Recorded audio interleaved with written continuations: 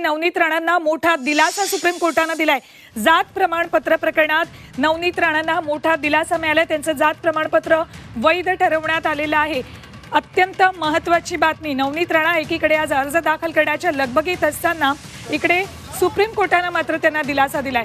हायकोर्टानं त्यांना दिलासा दिला नव्हता त्यामुळे त्यांनी सुप्रीम कोर्टात धाव घेतली आणि त्यानंतर आता सुप्रीम कोर्टानं नवनीत राणा यांना मोठा दिलासा दिलाय. थेट जाऊया दिल्लीला आपल्यासोबत आमचे प्रतिनिधी रामराजे शिंदे आहेत. राम एकीकडे नवनीत राणा आता अर्ज दाखल करत आहेत आणि दुसरीकडे इतका मोठा दिलासा त्यांना मिळतोय. आणि त्यामुळे नवनीत राणा यांना मोठा दिलासा आहे. बिलकुल आज सुप्रीम कोर्टानं जजमेंट दिलेलं आहे आणि या जजमेंटमध्ये काय म्हणलेलं आहे? ॲडव्होकेट सिद्धार्थ शिंदेजी आपल्या आपल्यासोबत आहेत. नवनीत राणा यांना दिलासा म्हणायचा का? दिलासाच म्हणायचा कारण सुप्रीम कोर्टाने हायकोर्टाचं जजमेंट सेट असाइड केलंय आणि नवनीत राणांचा अपील अलाव केलाय. आणि सुप्रीम कोर्टाने सांगितलंय की जात पडताळणी कमिटीने जो निर्णय दिला होता. अमृत नोनी आर्थो प्लस ये एक प्रूवन फॉर्मूला है। इसमें मौजूद नोनी फल के गुण और आयुर्वेदिक जड़ी बूटियाँ शरीर को जरूरी पोषक तत्व देने के साथ साथ हड्डियों और जोड़ों के घिसने उनमें होने वाले सूजन और दर्द को रोकने में मदद करता है। दर्द मुक्त जीवन के लिए अमृत नोनी ऑर्थो प्लस। राणांबाबत तो बरोबर होता। तर त्यामुळे दोन्ही जजेसनी सहमती दाखवली आहे. आता ते फॉर्म भरू शकतात आणि त्यांची कास्ट सर्टिफिकेट हे आता व्हॅलिड आहे असं कोर्टाने हायकोर्टाने सांगितलं होतं की ते चुकीचं आहे. सुप्रीम कोर्टाने सांगितलं नाही. आम्हाला हायकोर्टाचा निर्णय मान्य नाहीये आणि नवनीत राणांचं सर्टिफिकेट हे बरोबर आहे. अच्छा. जात पडताळणीची जी समिती आहे ती स्वतंत्र समिती असते. हो. आणि त्यांनी घेतलेला निर्णय हा बंधनकारक आहे असं म्हणता येईल का? नाही त्या निर्णयाविरुद्धच अनंतराव अडसूळ हायकोर्टात गेले होते आणि हायकोर्टाने तो निर्णय रद्द ठरवला होता जात पडताळणीचा. पण सुप्रीम कोर्टाने तो परत जात पडताळणीचा निर्णय जो आहे तो बरोबर आहे असं म्हणलेलं आहे. परंतु हे बरोबर असताना काय काय सांगितलेलं सुप्रीम कोर्टानं? कारण त्या यादीमध्ये जे होतं लिस्टमध्ये होतं तर ती ही जात नसल्याचा आरोप जो आहे तो नाही त्यांची जात जात पडताळणी कमिटीने त्यांना मोची जातेचं सर्टिफिकेट दिलं होतं. आडसुळांचं म्हणणं होतं की सिख चमार त्यांचं कास्ट आहे. पण आता सुप्रीम कोर्टाने सांगितलंय जी मोची सर्टिफिकेट दिलं होतं नवनीत राणांना ते बरोबर आहे. आणि जात पडताळणीचा जात पडताळणीचा निर्णय बरोबर आहे. त्यामुळं आता हायकोर्टाने सुप्रीम कोर्टचा निर्णय हा सेट असाईड केलेला आहे. त्यामुळे नवनीत राणा हे फॉर्म भरू शकतात आणि आता त्यांचं सर्टिफिकेट व्हॅलिड आहे असं सुप्रीम कोर्टाने म्हणलं.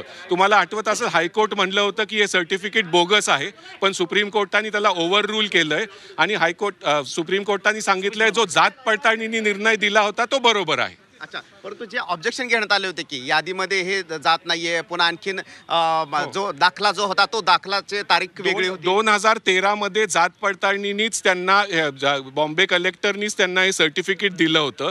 त्याच्या विरुद्ध अपील झाला जात पडताळणीकडे. जात पडताळणी पण सांगितलं की हे बरोबर आहे पण हायकोर्ट म्हणले की हे बरोबर नाही आहे आणि हे बोगस सर्टिफिकेट आहे.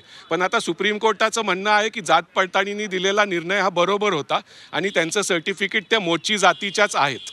सर मुंबई हायकोर्टानं निकाल देताना असं म्हटलं होतं की हा योजनाबद्ध पद्धतीने केलेला फ्रॉड आहे. अशा पद्धतीचे विधान मुंबई हायकोर्टानं हो पण तो आता विषय तो विषय आता सगळा संपला कारण सुप्रीम कोर्टाने हायकोर्टाचा निर्णय सेट असाइड केलाय आणि नवनीत राणांचा अपील अलाव झालेला आहे. त्यामुळे अशा केसेसमध्ये महत्त्वाचा हा मुद्दा होता की जी कास्ट आहे ती महाराष्ट्राच्या लिस्टमध्ये नाही. नाही त्याच्यात बॉम्बे कलेक्टरनीच दोन हजार तेरा तेरामध्ये त्यांना मोची कास्टचं सर्टिफिकेट दिलं होतं. काही लोकांचं म्हणणं होतं अडसुळांचं वगैरे की हे सिख चमार कास्टचे आहेत आणि मोची कास्टचे नाही आहेत तर जात पडताळणीने सांगितलं की हे मोची कास्टचेच आहेत आणि त्याला व्हॅलिडिटी दिली. पण सुप्रीम कोर्ट हायकोर्टाने म्हणलं की हे बोगसरित्या तुम्ही प्राप्त केलेलं आहे दोन हजार एकवीसमध्ये त्याच्यात त्यांनी स्थगिती मिळवली आणि आज सुप्रीम कोर्टाने सांगितलं आहे की ते जात पडताळणीने ओरिजिनल सर्टिफिकेट दिलं होतं तेरामध्ये ते बरोबर आहे आणि जात पडताळणीने त्याची हे पण केली व्हॅलिडिटी पण बरोबर आहे. त्यामुळे आता नवनीत राणांना हा दिलासाच म्हणावा लागेल. जर आज त्यांचं सुप्रीम कोर्टाने हायकोर्टाचा निर्णय उचलून धरला असता तर त्यांची अडचण एकदम वाढली असती पण आता त्यांना फ्री हँड मिळालेला आहे ते फॉर्म भरू शकतात आणि ते लढूही शकतात इलेक्शन याचा अर्थ की हा या संपूर्ण अं, प्रकरणाला पूर्ण विराम मिळालेला आहे असं म्हणायचं का? का आणखीन पुन्हा नाही?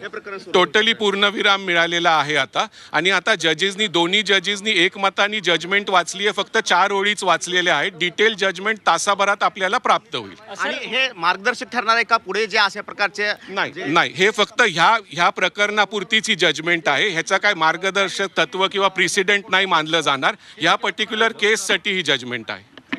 बिलकुल. आणि म्हणून या पर्टिक्युलर केससाठी असले तरी सुद्धा नवनीत राणा यांना मोठा दिलासा मिळालेला आहे. चार ओळीचं हे जजमेंट होतं परंतु पूर्ण जजमेंट आल्यानंतर आपल्याला पाहावं लागेल की सुप्रीम कोर्टानं काय ऑब्झर्वेशन इथे दाखवलेले आहेत. ठीक त्यावेळी पुन्हा एकदा तुमच्याकडे येणार आहोत राम. तुर्तास धन्यवाद संपूर्ण माहितीसाठी.